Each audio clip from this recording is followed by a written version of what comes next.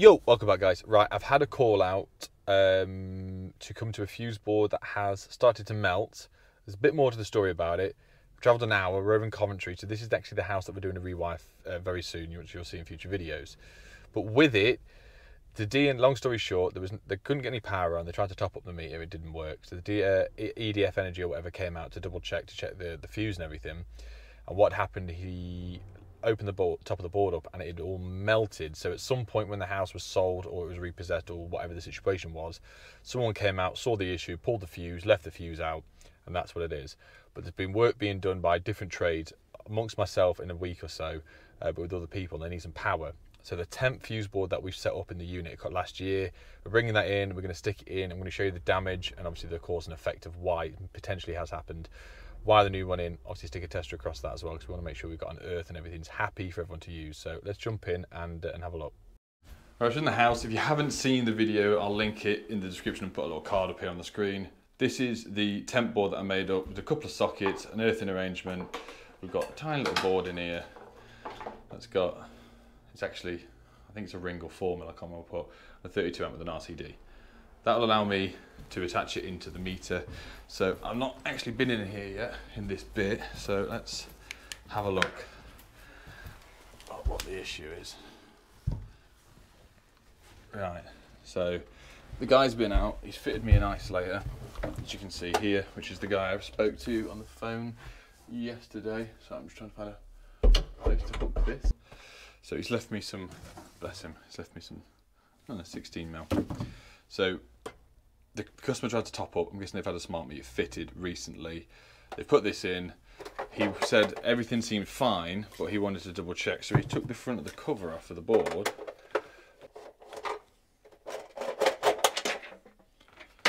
And he said there were signs of melting. There we go. Let me get another torch out. Hang on. So what you can see under there, yeah, you can even smell it when you take it off. It sort of sounds like a, like a fishy smell. So by looks of where that's superheated up underneath there, that suggests, in my expert eh, my expert opinion, is the busbar was not terminated to the correct torque setting, or it become loose over time because this does happen. You can tighten up all you want. Over the years and years and years, it heats up and it vibrates slightly. It just does come be loose, come loose. So that's why it's good with an EICR we go around and check it, everything's then torqued up to the correct setting. You sort of reset the uh, the time limit until it sort of wiggles itself loose again. But a few issues with that. I'm not going to power this back up, obviously, because of that, and obviously that's the RCD protecting the sockets this side. Um, that would been the key reason why the person before pulled the fuse and said, no, it's unsafe. C1 on an EICR, as you would say, but that would have created a lot of heat and a lot of smell. But the key dangers with this, if you look directly behind me, is the staircase. And it's a wooden staircase, as we all have in the UK.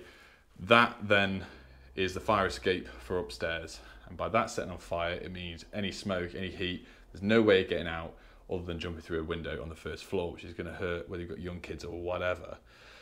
So this is why the reg was changed, where putting fuse boards now is not really recommended under staircases because you're blocking fire exits. This could have been way worse than it was. Obviously, it's been checked out with the smell.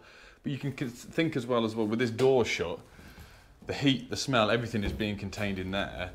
You wouldn't really know unless you went in there often to get your shoes out, your coats, or whatever that there was ever an issue, other than an electrical fault where stuff starts flashing. Because after a while, that will heat up. Maybe something comes loose. Maybe the RCD trips because it doesn't like what's going on. But it's so dangerous. This is why we say time and time again, get your EICRs and get it checked. Get someone in there to have a look. If this has prompted anyone watching this to go, oh, well, fuse board, no one's been and checked it for 10 years, get electrician out, just get a test on the house, making sure they're talking everything back up because this stuff does happen. There's a few times we've seen this now. It doesn't happen very often, but it does. And when it does, it can go very badly, very, very quickly. What I'm doing now is most of the new isolators come with a hex bit on it, or star bit, whatever you want to call it.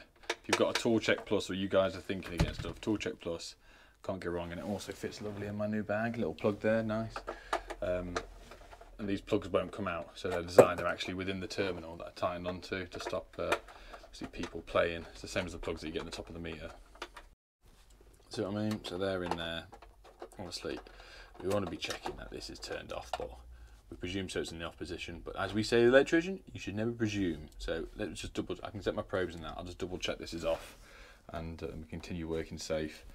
The board, I'm probably as much as I, if it was just me here, we just leave it lying. But because there's other trays going to be in and out, can that? That was a bit dirt. That's all right. I thought something had burnt on it. Uh, I'm just going to drill this to the wall here. Um, it's going to stop someone because if someone knocks this over, we don't want any main tails being pulled out of the Henley block here, out the ISO, potential live wire coming out because nothing here will trip if a live cable gets pulled out. The only person that will hurt is the person that's pulled it over. Right, so now I've got the board on. I've linked the earth across into the board because it's obviously already pre-earth. My earth won't reach across. We'd have a look at that? Board's on, screwed back. So now we can on, on, on. We're just going to get a ZE on what we want. Testing. Right, we've got ZE. ZE. I'm not getting a ZE, guys. Right, we've got a ZS. I might have said ZE before I meant ZS on here, 0.5. So just by doing that, we confirm that there is a earthing conductor present. Our earthing arrangement is okay.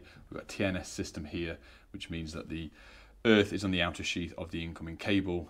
So hence by that, but I see this quite a lot now, which is an old earth tag put across there. And even though the DNO has come out recently and upgraded the cutout, the meter, and the ISO, that's what's been left instead of them doing a proper joint where they back in the day would like um, solder lead onto the side of it with a terminal block and they would do like a permanent lead that comes across into a connector block very similar to this one and you would come off there but they obviously think that's fine.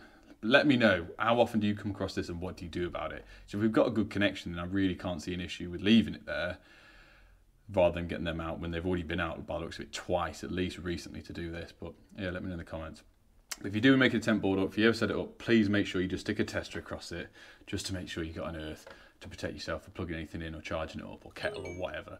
Most of the tools that you will use are class 2 anyway. It's better being safe than sorry if other people are using it and you're not here.